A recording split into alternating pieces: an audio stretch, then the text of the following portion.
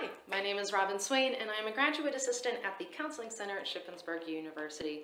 And in this segment, I wanted to talk to you about limiting exposure to anxiety producing news and information. So we are in COVID-19 time right now, and it's very important that we stay up to date with what's going on. That way we know how to keep ourselves safe and keep the people around us safe. That being said, we need to make sure of a couple things. One, making sure that we are purposeful about when we are deciding to intake news and information.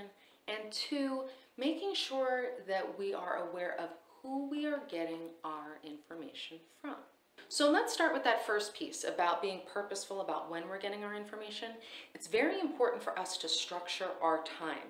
Set a specific time that you get to dedicate each day to looking up news, getting informed, and then make sure to move on from there. You know, our brains are structured to be curious and to seek out information and also to seek out troubling information. That's our way of our brain making sure that we stay safe, that we are staying away from any potential threats. But what can be detrimental is that constant stream of information. Uh, that constant stream truly overwhelms our senses. Our brains need moments of rest to process information properly and to remain healthy as a whole. Our brains can't handle a constant stream of news and moment to moment updates. And without that time to pause our brain from that constant bombardment of information, anxiety builds up and then we may be more prone to going into a panic mode. So very important to set a specific time an example of this could be every day from 10 a.m. to 10.15, I'm gonna look up the news, I'm gonna look and see if there are any updates that are relevant, and once I hit that 10.15 mark, I'm done. Uh, you can set a specific time in the morning um, or a specific time in the evening, maybe you need both. Just making sure to be very purposeful about only allowing so much news to come in at a time.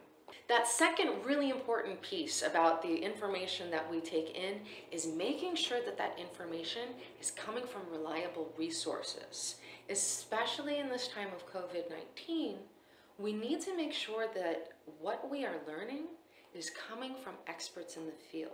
Make sure that whatever information you are taking in is coming from people that has the educational background to be supporting the information that they're putting out there and sharing with the world. CDC is a great example of a website where there is very factual, reliable information. To share a personal story of something that happened to me just a couple weeks ago, a friend had shared with me a post on social media that had information about COVID-19, and after I was done reading it, I was paranoid and convinced that I had the virus. I had a panic attack for about an hour. I was crying. I was having a hard time breathing, which of course is another symptom of COVID-19, and it took me a while to stop and ask myself, where did that information come from? So I went back to the post, clicked through uh, a few screens and realized that this post that my friend had given me just came from a random person. They were a realtor, uh, have no scientific background whatsoever. They are not experts in the medical field. And I basically realized that I had experienced a meltdown based off of random information that had no citations online. So be very wary of that. And since we're talking about that social media piece, make sure that you feel free to temporarily block people if you find that there are people in your social media sphere that continuously post things that produce anxiety for you or get you on the train of negative thoughts. There is absolutely no problem with that. In the case of me and my friend, I made sure to directly tell her, please do not share posts like that with me anymore.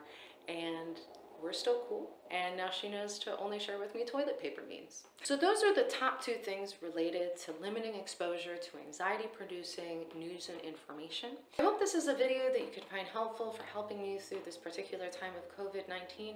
And I hope that this can be of help for you moving forward into the future for any other newsworthy events um, that may be causing you stress.